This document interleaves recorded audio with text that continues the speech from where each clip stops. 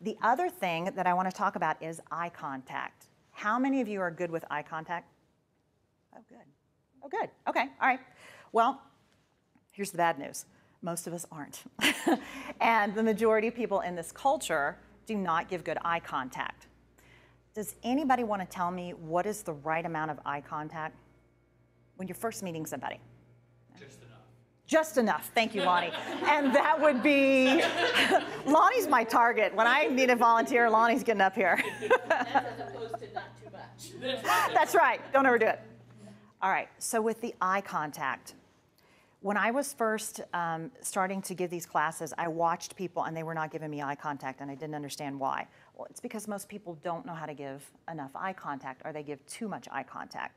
So, what you want to do is you want to look in the inverted triangle area, which is from the tip of the eyebrow to the tip of the eyebrow. You draw a straight line across and then a straight line diagonal here.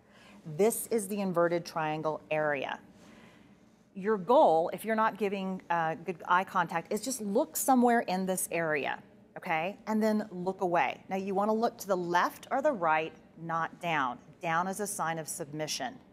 Left or right, break away. Your goal is to look at somebody long enough to figure out what the color of their eyes are. That's usually about three to five seconds, okay?